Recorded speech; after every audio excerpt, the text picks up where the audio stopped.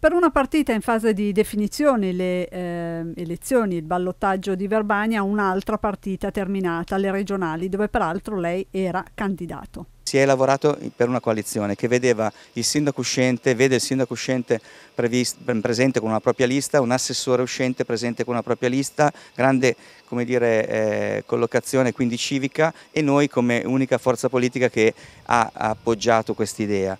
Eh, siamo stati compressi da queste due polarizzazioni importanti, quindi del sindaco uscente e dell'assessore Comoli uscente. E nel contesto speriamo di poter procedere con questo 10% che comunque è un risultato eh, di interesse per quanto riguarda la seconda fase di ballottaggio, speriamo di poter procedere assieme, quindi eh, di poter prendere delle decisioni insieme perché diversamente ognuno farà le proprie valutazioni. Ma il non essere stati della partita per le primarie, c'è qualche ripensamento?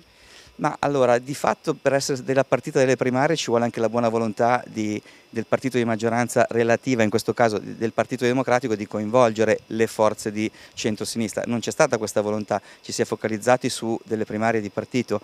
Eh, noi ci eravamo permessi semplicemente di esprimere una preferenza per un candidato come, come Chiara Fornara che di per sé collegava e univa tutte le forze di centro-sinistra. Questo non è stato possibile le primarie si sono concluse con una, anche se con un risicato eh, distacco da parte di Riccardo Brezza, a cui vanno fatti sicuramente gli auguri, eh, ma ha, ha di, di, fatto già escluso il resto della coalizione da un processo come quello delle primarie. Prima di tutto permettimi di ringraziare tutte le persone che hanno espresso la loro preferenza per, eh, per la mia persona e che ha consentito di arrivare a un risultato sicuramente minimo perché il 280 a livello provinciale è pochissimo, ma che personalmente mi soddisfa molto per la proporzione rispetto ai voti proprio della forza politica, perché i 600, le 640 preferenze mi consentono addirittura di posizionarmi al sesto posto a livello regionale in questa particolare classifica che, che bilancia appunto le preferenze rispetto ai voti. Quindi assolutamente la, la soddisfazione è tanta. I 150 voti qua a Domodossola, altrettanti nelle, da Crevola diciamo, ai Valle Antico e Formazza, ma poi un po' in tutta la provincia.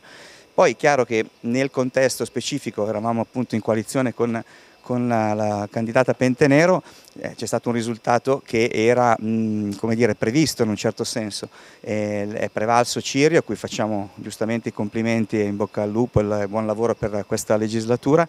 E sicuramente il fatto che si è partiti un po' tardi nel costruire questa coalizione ha sicuramente pesato.